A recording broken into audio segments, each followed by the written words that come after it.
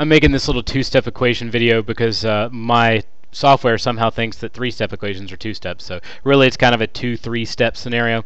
Uh, the first one I'm going to start out with is just your standard two-step, pretty simple stuff. Uh, draw your line. Then I have my v here. The thing furthest from the v, of course, would be this plus 5 that's way over here. So I need to subtract 5. I get negative 2.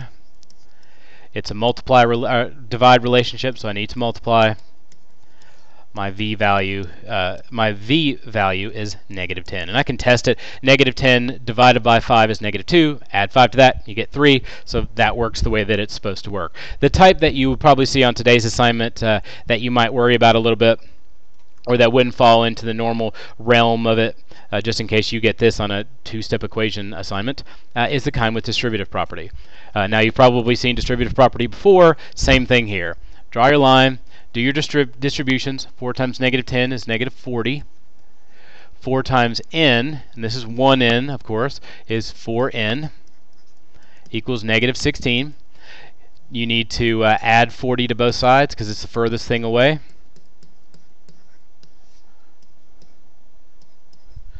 And if you have negative, uh, 16 plus 40, I think that gives you 24.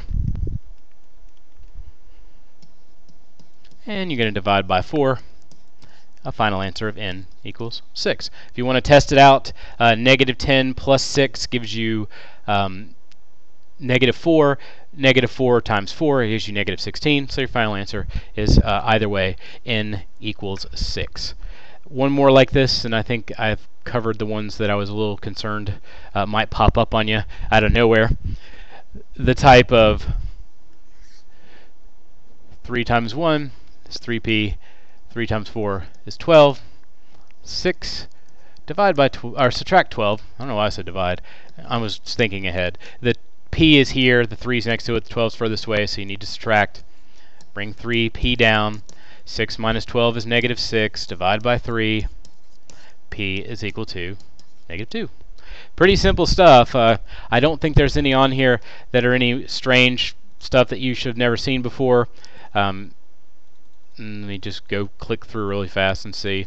Nope, everything's good. So uh, that's it in case your little uh, two-step equation assignment ends up being three steps on accident. Uh, there it is.